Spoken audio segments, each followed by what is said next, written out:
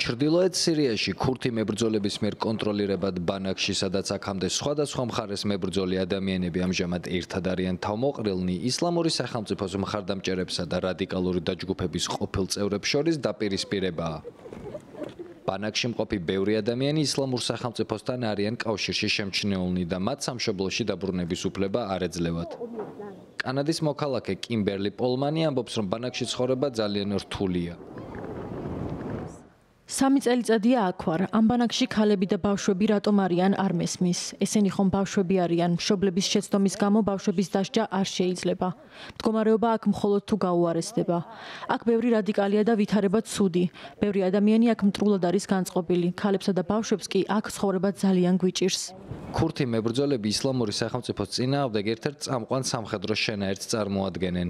რადიკალი სუნიტების ისლამური ხალიფატის დამარცხებიდან 3 წლის შემდეგ ისლამური სახელმწიფო საქართველოს ათასობით ყოფილი მებრძოლი წლებია ქურთი მებრძოლების მიერ კონტროლირებად ბანაკებში არიან თავმოყრილნი. ბანაკში იმყოფება გერმანიის ფედერაციული რესპუბლიკის მოქალაქე ზაკია კახერიც. მისი თქმით, ბანაკში მასზე თავდასხმა მოხდა. აქ მყოფებს უცხოელები არ უყვართ, ქვებს გვესვრიან, მე კი მეგონა რომ აქ უსაფრთხოდ ვიქნებოდი. მაგალითად მუსიკის მოსმენის უფლებასაც არ მაძლევენ. ჩვენი სურვილისამებრ ცხოვრების საშუალება არ გვეძლება. ზაკიას სამშობლოში დაბრუნების უფლება არ აქვს. ზაკიას თქმით, მას სურს შვილებს ნორმალური ცხოვრების პირობების შეუქმნას.